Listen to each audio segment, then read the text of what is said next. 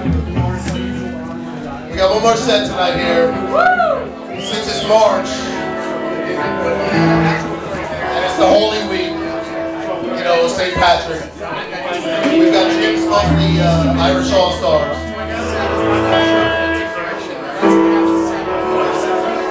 So real quick, just a quick reminder, this is a this is a lymphoma leukemia thing.